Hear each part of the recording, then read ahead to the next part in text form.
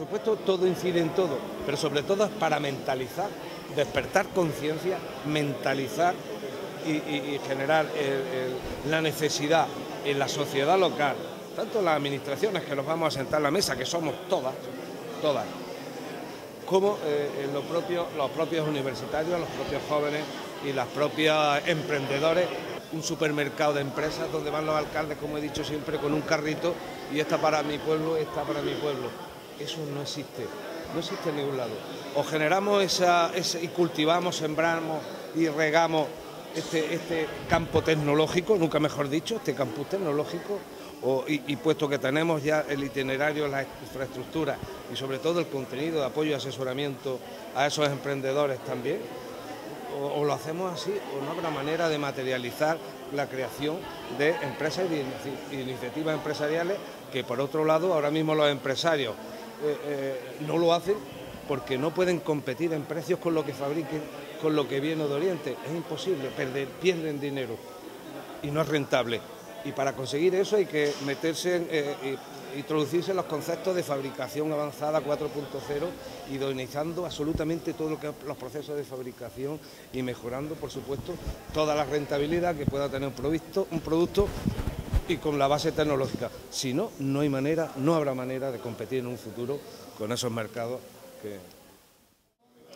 Sí, pero en definitiva el objetivo fundamental de, de estas jornadas es como efectivamente he comentado en mi intervención en la inauguración, es ir dando pasos eh, seguros hacia lo que entendemos que debe ser un nuevo modelo productivo que esté basado en la sociedad del conocimiento y en definitiva en lo que es la cultura del emprendimiento y de la innovación. Entre otras cosas porque este modelo productivo tiene una ventaja en una sociedad globalizada como la que estamos ahora, en donde la deslocalización siempre es un riesgo, pues tiene precisamente eh, la ventaja de que es un modelo basado en la fidelidad, en el conocimiento, y eso es algo que es más difícil de deslocalizar. En ese sentido eh, y en ese modelo, en ese, con ese objetivo, la Universidad de Jaén tiene que jugar y debe jugar un papel fundamental como institución en donde primero se forma a profesionales y luego se genera conocimiento. Tenemos muy claro que además de esos objetivos, de esas misiones clásicas de la universidad, la Universidad de Jaén tiene que apostar por el fomento de la cultura emprendedora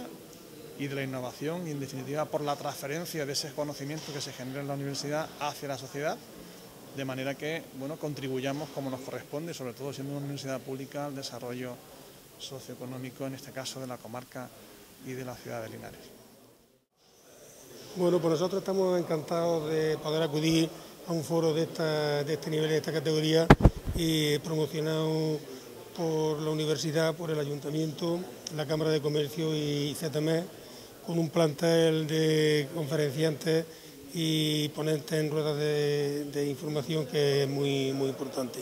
Qué duda cabe que el conocimiento y la innovación van a ser los pilares eh, importantísimos en el desarrollo de la actividad industrial. Y en eso, en Linares en particular y, en la Andalucía en general, estamos un poco a la cola. Hemos visto como año tras año ha ido descendiendo la importancia del peso de lo industrial y obviamente tenemos que recuperar ese carro. Pero no solamente en lo industrial, la innovación tiene que eh, aparecer en todos los aspectos de, la vida y por tanto para nosotros es motivo de satisfacción, como he dicho anteriormente, de que esto se produzca aquí en Linares. Desde el Ministerio de Industria y Competitividad estamos detrás de esta cuestión y son numerosas las convocatorias que hay para ayudar a la, innovación. Y, bueno, nosotros desde la Subdelegación del Gobierno en GEN estamos a disposición de cualquier persona que esté interesada en estas subvenciones para poder acercarlas a ellos y que puedan disfrutar de las mismas. Recordar que hoy, desde el mismo Ministerio, desde la Secretaría de Estado del Ministerio de Industria y Competitividad, queda abierto hasta el día 1 de junio el plazo para los premios que año tras año se, convocan para la innovación y nos gustaría que fuesen en máximo de número de candidatos que pudiesen acceder a estos premios para ver cómo en España se preocupe todo el mundo no solamente de mantenerse lo que estamos, sino de estar en la punta de la tecnología. Y bueno, felicitar, como he dicho anteriormente, al ayuntamiento, a la Cámara de Comercio, a la universidad y a las empresas privadas y desear que estas jornadas sean un éxito y que no queden en este año, sino que se puedan volver a hacer en años posteriores. Efectivamente, y además con el símil que me decían de un paso atrás, un paso atrás no vamos a dar ni para coger impulso. Yo creo que todos tenemos que dar un paso adelante con este campus y con estas jornadas que yo creo que, es una oportunidad magnífica de, trabajar todas las instituciones en favor de tener oportunidades. ¿no? Yo creo que el alcalde lo decía muy bien, esto no va a ser solo una cuestión de una institución, de la universidad, tiene que ser una cuestión de la sociedad, donde se impliquen todos los actores, como está implicada la Cámara de Comercio, como está implicada eh, el Ayuntamiento, como está implicada la universidad y su campus universitario aquí en Linares y como está implicada la Junta de Andalucía, por supuesto, en, impulsar que, cambiemos el modelo productivo. Y el modelo productivo solamente, solamente se puede cambiar, como decía el rector, en una condición indispensable formándose. Y yo creo que tenemos las mejores condiciones para que nuestros jóvenes se formen y se formen mirando también cómo, está el mundo, cómo está en Europa y por tanto tenemos que, seguir ese camino. Escuchar las buenas prácticas como se van a escuchar hoy en, la, en esta jornada, pues también es una buena oportunidad para saber qué ha funcionado en otros sitios bien. ¿no? Yo creo que, el camino este hay que recorrerlo y, y para atrás ni para coger impulso.